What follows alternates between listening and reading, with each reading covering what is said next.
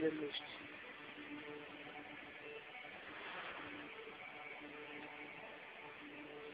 350 GB. 320 GB e 84 euros. O que achas? Quanto? 84 euros. 350 Pois. GB. Então, está tá fixe.